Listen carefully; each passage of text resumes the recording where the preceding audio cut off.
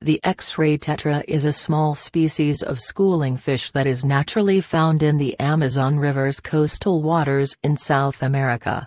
The X-ray tetra is also known as the golden pristella tetra and the water goldfinch due to the faint golden coloration of their translucent skin. They were first described by Ulrey in 1894 and have since become one of the most popular freshwater fish kept in artificial aquariums today.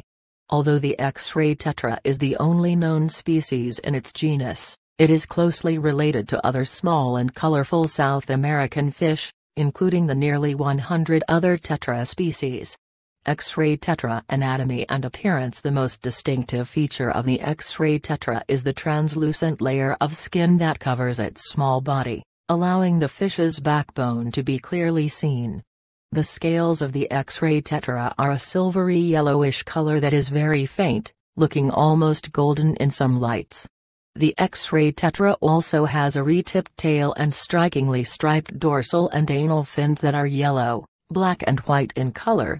This is a relatively small species of fish that actually has a bony internal structure known as the Weberian apparatus, which is used in picking up sound waves, and contributes to their acute sense of hearing. This bony structure is also found in many of their relatives. Females are generally slightly larger and rounder than the more slender males, although the two are very similar in appearance. X-ray tetra distribution and habitat The X-ray tetra is found in the Amazonian coastal waters of Brazil, Guyana, Guyana, and Venezuela in South America. They differ greatly from mother tetra species as they are able to tolerate the harder brackish water closer to the coast, as well as their usual freshwater environments.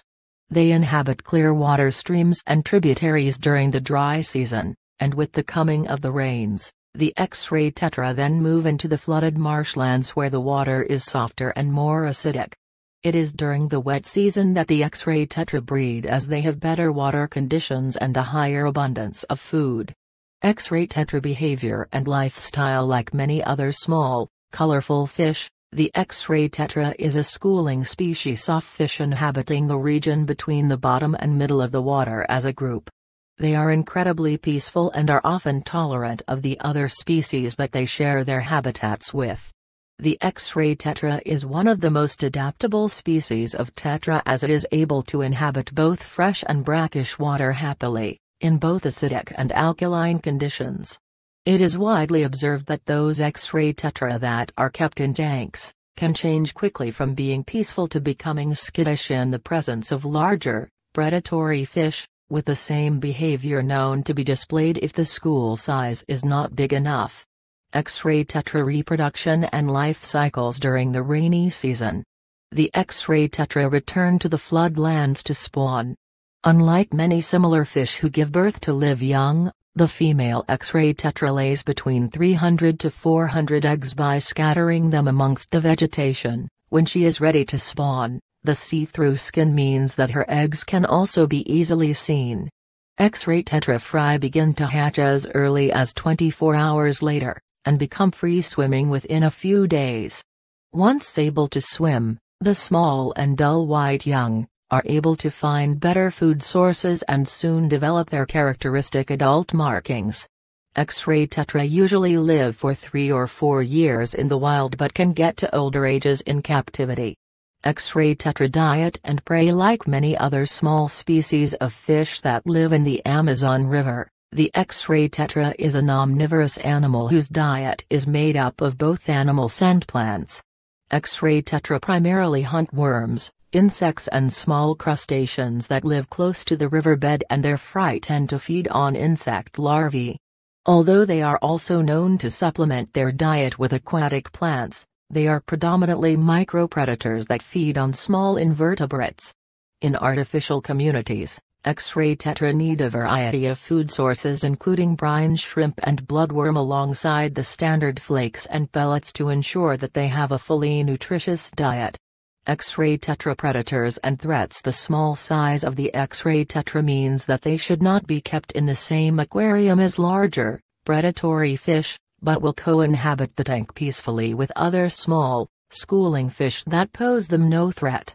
In the wild, X-ray tetra are preyed upon by a number of aquatic predators including larger fish and frogs, and are also threatened by birds and snakes if they are closer to the water's surface.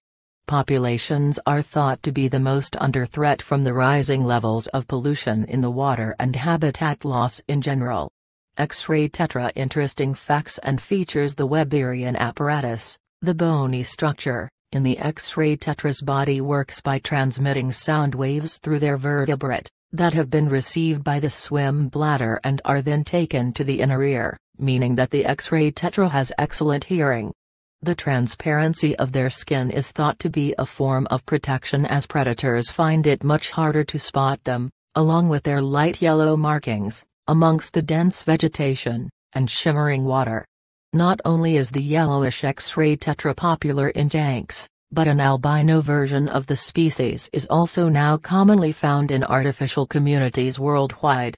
X-ray tetra relationship with humans since it was first described in 1894. This unique animal has been the subject of much fascination due to its nearly transparent body. They are now one of the most popular species of tropical fish to be kept in household tanks, mainly due to their ease of keeping as they are hardy, adaptable and undemanding.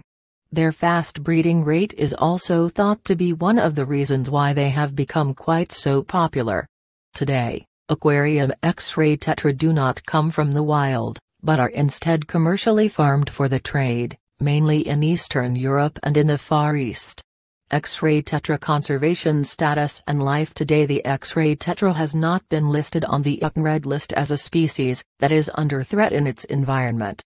However, increasing industry in the Amazon basin means that there has been an increase in the levels of pollution in the water and therefore a decrease in water quality leading to slight population declines in certain areas.